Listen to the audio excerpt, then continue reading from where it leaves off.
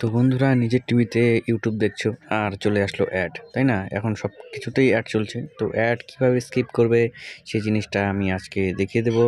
টিভিতে add skip কীভাবে করা যায়? মোবাইলে যদি আমরা স্কিপ করতে যাই ওয়ান টাচ করি স্কিপ অ্যান্ড স্কিপ হয়ে যায় ওকে তো টিভিতে একটু ফাংশনালটা জিনিসটা অন্যরকম, এখানে কোনো টাচ নেই। করতে হয় কিন্তু রিমোট দিয়ে, তাই না?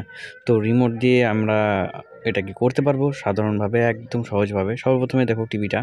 টিভিটা আমরা চালিয়ে নিলাম। কানেক্টিভিটি আমার রয়েছে ইউটিউব চালিয়ে দিচ্ছি। তো ইউটিউবে দেখো চলে গেল। যে কোনো একটা ভিডিও চালাবো, যদি অ্যাড এসে যায় তাহলে দেখিয়ে দিচ্ছি ক্লিয়ারভাবে তো আমি চালালাম। দেখো এটাতে আসেনি।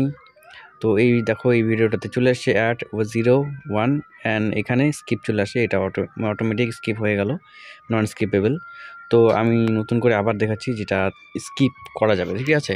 আবার একটা ভিডিওতে যাব আমরা, যাওয়ার পরে আমরা এই একটা ভিডিও চালাবো। তো বন্ধুরা, এই ভিডিও যখনই চালালাম তখন এখানে স্কিপ অপশানটা চলে আসছে হোয়াইট কালারের তো এটা আমার কি কি করতে হবে? ওকে করলে পরে কিন্তু স্কিপটা অ্যাডটা ক্লিন হয়ে যাবে। ঠিক আছে? তো এটার জন্য দেখো, আবার দেখাচ্ছি স্কিপ চলে এসছে হোয়াইট কালার হয়ে আসছে।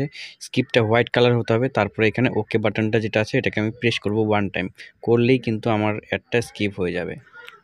তো ভিডিওটা আরেকবার দেখিয়ে দিচ্ছি, এখানে দেখো অ্যাড স্কিপ চলে আসছে এটা হোয়াইট আছে, এটা স্কিপ হয়ে গেল। আরেকবার আমি চালিয়ে দেখিয়ে দিচ্ছি, এখানে দেখো four three two one and skip চলে আসলো। এটা হোয়াইট কালার যদি হোয়াইট কালার না থাকে, তাহলে লেফট রাইট করে হোয়াইট কালারটা নিয়ে আসতে হবে আর ওকে বাটনটা এইভাবে প্রেস করতে হবে।